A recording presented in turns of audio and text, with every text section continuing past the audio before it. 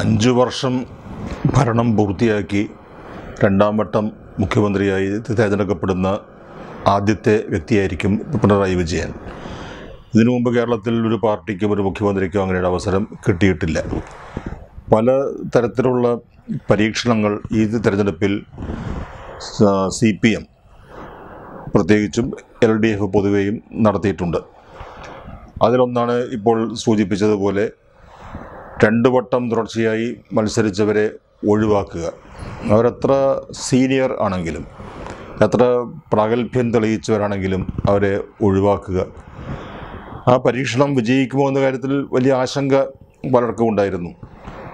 പക്ഷെ ആ പരീക്ഷ പരീക്ഷണമാണ് വിജയിച്ചത് എന്ന് തിരഞ്ഞെടുപ്പ് ഫലം വന്നപ്പോൾ എല്ലാവർക്കും ബോധ്യമായിട്ടുണ്ട്.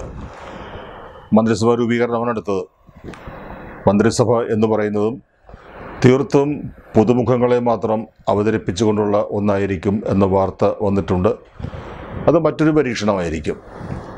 അങ്ങനെ പല പരീക്ഷണങ്ങളിലൂടെയും കൗതുകങ്ങളിലൂടെയും ആണ് പാർലമെന്ററി ജനാധിപത്യത്തിൽ പാർട്ടികൾ വിജയം ആർജിക്കുന്നത്. അതേസമയം ആ മുന്നണിക്ക് ആ മുന്നണിക്ക് നേതൃത്വം നൽകുന്ന വ്യക്തിക്ക് വിശ്വാസ്യത ഉണ്ടാവണം. പ്രതിസന്ധി ഘട്ടത്തിൽ ഈ ആളെ ആശ്രയിക്കാം. ആൾ പറയുന്നത് അനുസരിച്ചാൽ നമുക്ക് അപകടം ഉണ്ടാവില്ല എന്നൊരു ബോധ്യം ജനങ്ങൾക്ക് വരികയും വേണം.